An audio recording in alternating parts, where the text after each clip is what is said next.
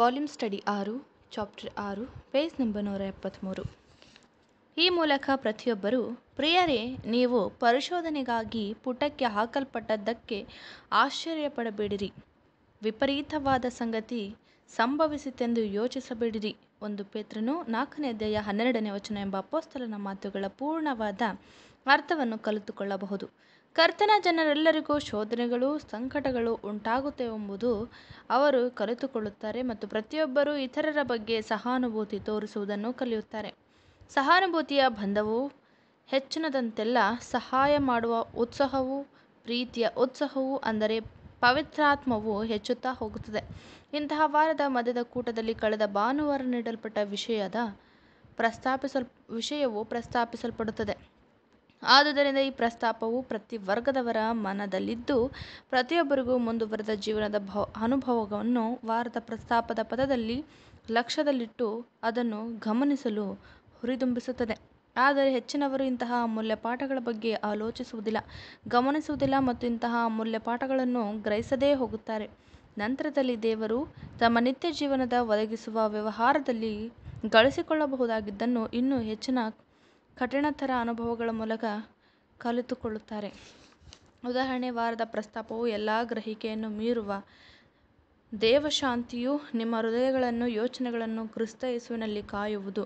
Philippe ನಾಲ್ಕನೇ ಅಧ್ಯಾಯ ಏಳನೇ ವಚನ ಎಂಬ ದೇವರ ವಾಕ್ಯದಲ್ಲಿನ ದೇವಶಾಂತಿ ಎಂದಿರಲಿ, ಪ್ರತಿಯೊಬ್ಬ ಸಹೋದರನು ಕಳೆದ ವಾರದಲ್ಲಿ ಈ ದೇವವಾಕ್ಯವು ಯಾವ ರೀತಿಯಲ್ಲಿ ತಮ್ಮ ವೈಯಕ್ತಿಕ ಜೀವನದಲ್ಲಿ ಈಡೇರಿದೆ ಎಂಬುದನ್ನು ಅಥವಾ ಯಾವ ಯಾವ ಸಂಗತಿಗಳು ಶಾಂತಿಭಂಗ ಪಡಿಸಿದವು ಮತ್ತು ದೇವಶಾಂತಿಗೆ ಅಡ್ಡಪಡಿಸುತ್ತವೆ ಎಂಬುದನ್ನು ಗಮನಿಸಲಿ.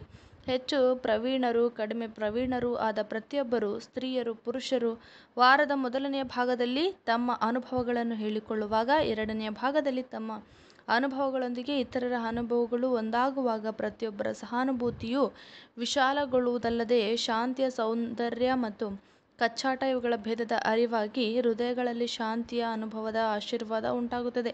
ನಾವು ನಿಯಂತ್ರಿಸಲಾಗದ ತಮುಲ, ತುಮುಲ, ಗಲಿಬಿಲಿ ಮತ್ತು ದುರ್ವ್ಯವಸ್ಥೆಯ ಪರಿಸ್ಥಿತಿಯು ನಮ್ಮನ್ನು ಸುತ್ತುವರೆದಿದ್ದರೂ ಯಾವ ರೀತಿಯಲ್ಲಿ ದೇವಶಾಂತಿಯನ್ನು ಪಡೆಯಲು ಸಾಧ್ಯವೆಂಬುದು ತಿಳಿದುಬರುತ್ತದೆ. ಈ ಕೂಟಗಳ ಶ್ರದ್ಧಾಪೂರ್ವಕ ಲಕ್ಷಣಗಳು ಅವರಿಗೆ ಹೆಚ್ಚಿನ ಲಾಭವನ್ನು ಉಂಟುಮಾಡುತ್ತದೆ.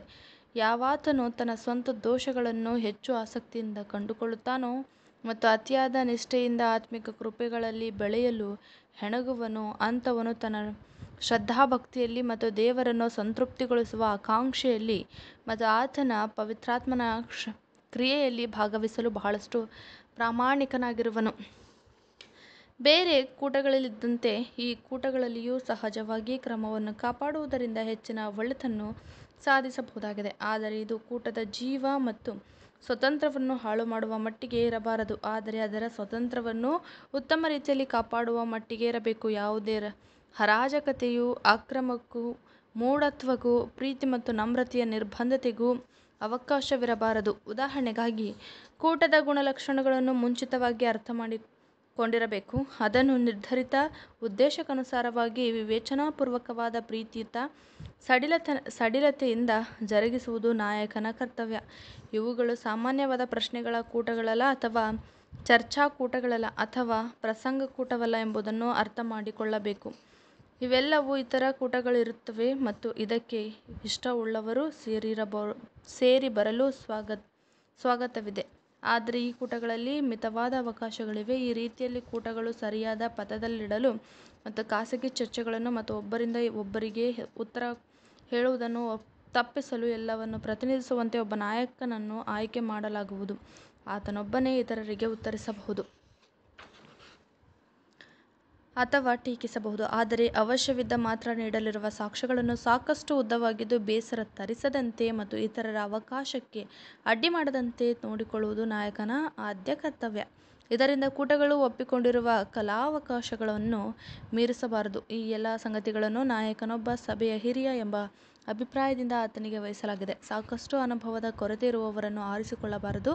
ಅವರಿಗೆ ಉತ್ತಮವಾದ ಉದ್ದೇಶಗಳಿದ್ದರೂ ಅಂತಹ ಸಂದರ್ಭಗಳಲ್ಲಿ ಬಹಳ ಸಡಿಲಾದ ಅಥವಾ ಗಡಸಾದ ತತ್ವಗಳನ್ನು ಅನುಭವಿಸು, ಅನ್ವಯಿಸುವುದರಲ್ಲಿ ಆತನ ಕೂಟಗಳನ್ನು ದಕ್ಷಿಣದಿಂದಾಗಿ ಹಾಳು ಮಾಡಬಹುದು.